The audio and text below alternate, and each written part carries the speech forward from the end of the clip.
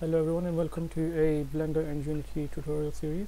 So this is going to be a mini series, only going to be two parts and in this one I'm going to make a TV so and use it in Unity. So the first one I'm going to model it in Blender and then in the second one I'm going to import it into Unity to display and I'm going to put some video on the TV so that you can see in game mode. So let's just get into it. So first it's an empty scene, there's nothing here so go into front view, shift A, mesh and a cube so now you've got the cube right in the middle. So I'm, I'm gonna change its vertices. So one vertex selection go into side view 3 A and just drag it into so that it starts at here and it goes up. And in the front view just drag it right here. So this is where it is. This is where we want it. So go into side view now I've looked up dimensions of a TV, it's going to be 70 inch. So the dimensions of a 70 inch TV are the depth, the depth which is this side, which is going to be this way, is it says 7.4 centimeters. So first I'm going to do is I'm going to G Y all these vertices, the back ones, for the four back ones, drag them to zero, and then G Y and then 0.07. So what it does is first I drag them back to zero, and then from that point I put 7.4 centimeters towards the y area, y axis on the y axis. So what I did is create this shape. Let's check it out. From a cube, it's gone down to this. So front view, edit, wireframe mode. So so what I'm going to do is the height. The height of the TV is 90.4 centimeters. So the same thing as before. Select the top four, G and Z, drag them down, down to zero and then GZ and then it says 90.4 so 0.9 centimeter. So this is what it looks like right now. Once again do the same thing from the sides let's select these four GX drag them to 0 GX and it says 157 so I'm going to just do 1.5 uh, 1.5 meters. So this is what it looks like right now TV so the next thing we have to do is sorry brother. I'm gonna add a because it, right now it's really bland so if I was to let's say go to front view subdivide or let's just do inset and separate it and, or sorry drag it back this is what it's going to look like. So it looks really bad it's too sharp. So the thing that I'm going to do is right now is everything's clear. So go into object mode select the cube and add a modifier. Modifiers are in this red shape tab. Add a modifier subdivision surface. Now it's been deformed very badly I know but uh, just select here go into tab view uh, press tab to go into edit mode press A and then right click subdivide subdivide subdivide. Keep doing that.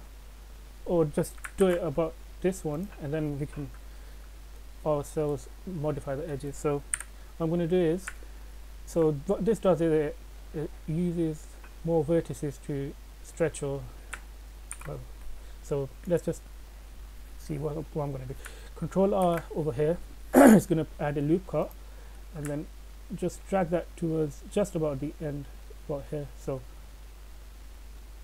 two three let's just to keep three units from the end. And the same thing over there so that we can just okay so that's what it looks like right now. Okay. And if you to shade smooth this is what it's going to look like. And from the top as well let's just add another one. That's possible. Now let's just do the front one first. So we have the this loop and this loop. What I'm going to do is add another one here one two three four. One two three four. Let's just keep that four. So um, remember when I'm using this I'm using control to uh, do it in increments. So go over here. Zero. One two three four. So that's it. This is what it looks like right now. So what we can do also is to make it more right now as you can see it's a bit it's a bit edgy. So let's just shade flat go into edit A and then maybe subdivide once more. And now you'd see that it's a lot more sharper. And if you shade smooth this is what it looks like. This looks nice. I think I'm going to use this one. So right now I'm just going to save it once more. So now go into the edit um, edit mode. And then from here let's just select all these outer ones should I think we should add these ones as well. So how would I go about doing that? Oh this edge selection sorry. Face selection go into face selection with 3 and select all these faces. So now that we've got all these faces P selection let's just call this uh, let's just call this the plastic. And this one display screen so that you can tell what is going on. Or, or what we can do is to make it easier. So now we have the the whole thing is selected and then going into side view. Uh, yeah. Just keep it like that around here. And then GY and then just drag it back a bit. So make sure that it's out of the so this is what it looks like right now. I know it doesn't look that good let's see what we can do. So control Z just drag it in and then P separate by selection. So this is what it looks like now. So you've got the screen and you've got the TV and now what I'm going to do is I'm going to add another screen at the front that would help with the so like basically this one is going to be the like H uh, bring everything back so this is going to be the display screen. So this is where the material is going to come. And the front screen is just like you know your phone has two screens and everything like the front screen the protective let's just call it the protective screen. I don't know what the proper term for it is but let's just keep it like that. And go to select it select this one edit mode press 1 to go into the vertex selection. We'll just do that so that it's easier to see the vertices. So which one is it that we need? The one that is making the like this circular edge sorry. I think it's this one right? Yeah. So select this one bring over here. Alt select it's to select the loop the loop is selected so what we can do is press F. No that looks too bad. Or instead of doing that let's just copy it like just drag it out. Control uh, con shift D and then on the y-axis just bring it out a bit. And this one as well let's just GY all the vertices. Roughly around maybe here this is what it looks like.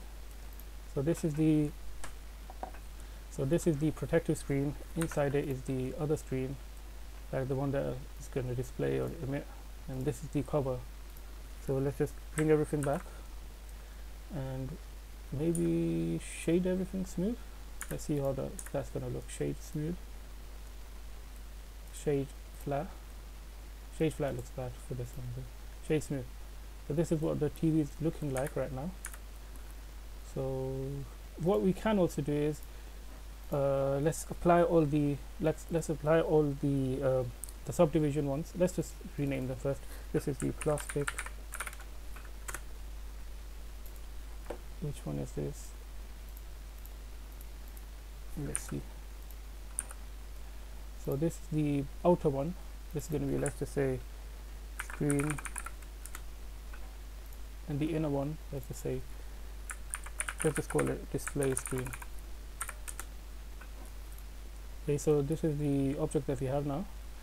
And what I was thinking of doing was joining the vertices but that would take that would take too much time. Like for example this one.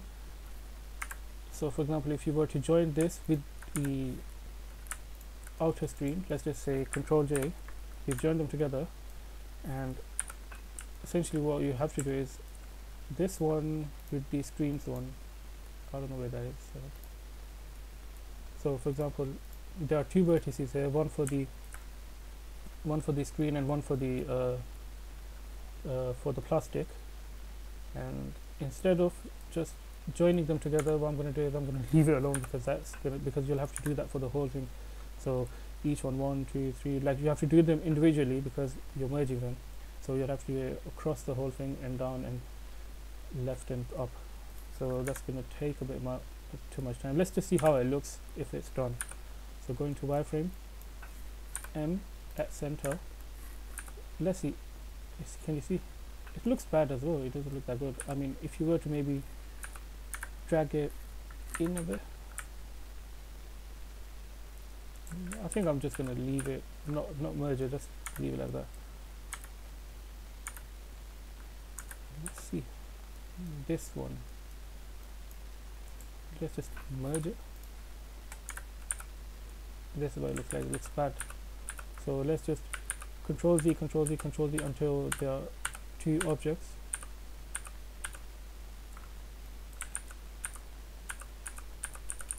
Why is it not working? Okay so now we've got two objects. So the plastic the screen and the uh, display screen. We've got three more three now. So what we can what, we, what I'm going to do is I'm going to select all of them and I'm going to apply the modifier. Apply this subdivision modifier. So I'm going to sh show you what the subdivision modifier does. You have the screen right?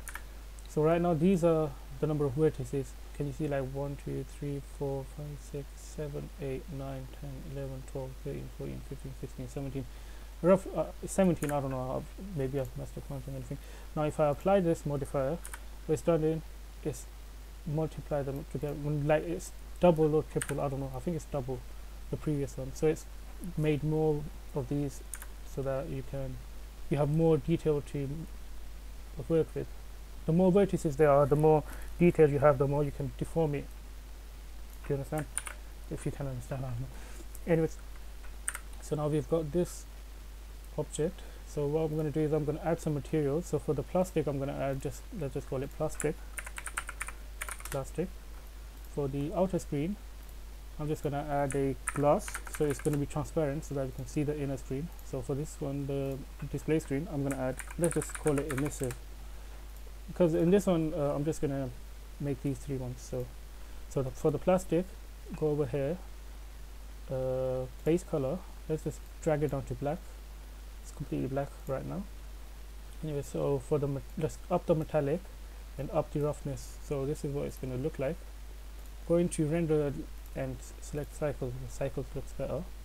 It's renders better as well. And what I'm going to do is let's just add uh, let's just add the materials for the other ones and then you can render it. Anyway so this is what the other one glass. So go over here. Instead of principled select glass BSDF and that's it for this one. For the third one the display screen go into principled go down here emission up this and let's just make it a bit blue. So we've got the materials done for this. Let's just look what it looks like. That's what it looks like. So if I was to up the strength there's also emission strength. That's what it is. As you can see it's emitting way more now. Let's just keep it maybe three? I don't know. Let's see what so now before going into render let's just add some environment stuff. So let's just put a light area light. G Z drag it up. G X drag it in here somewhere. And let's just bring it back bit G Y and then control uh, remember I'm al- also using control most of the time so that it does it in increments and it doesn't look it doesn't do it really. So up the power to a thousand now we need a camera get a camera. Alt R is going to put the camera rotations at zero. G X drag it roughly around here. GY bring it back. RX oh, sorry GZ let's just bring it up a bit. And RX let's just say 90 so this is what the cam this is inside this area is what the camera is seeing. So let's just bring the camera back a bit. G Y and GZ let's just bring it right about in the middle. I'm just using G right now so that so that I can see like easy, easier. So in the front view it's easier to do that. So let's just see what this is what it's going to look if I render it right, right now. So so to go into camera view press 0 on the numpad 0 uh, on the numpad uh, and this is what it does. So now we've got the light the camera the TV screen. So this is what it looks like. And you see the emission that the it's not the glass that is emitting the glass is transparent. That's why you can see the screen behind us so if you change the color let's call it let's give it a red color. This is what it looks like. I'm just going to keep it about right like this maybe. And now I'm gonna add some planes let's just add a plane scale it press S to scale and add another plane. G Y bring it back. Over here. RX90 put put it like that and then S let's just take 10 so this is what it looks like right now. And so the light is giving some shadows and yeah. So this is what it looks like right now maybe I should add some material for the planes as well. I don't know let's just render it first. So go to render the render tab render properties. I'm gonna select a low render because it takes too long to render for me. So render at 64 denoising it on render and then press F12 on the layout. On the game on the view. So it's gonna take some time to render and and this is gonna take some time. So let's just wait for a bit. It says it's gonna take about 26 no sorry the remaining time is 2 minutes. So yeah let's just let it render. Ooh. Or I'm gonna basically I've done with I'm done with the whole thing so I'm just gonna save it and then I'm gonna show you the render in the next video and I'm gonna import into Unity and stuff like that. So yeah. I'm gonna see you in the next one. Thanks for watching. Goodbye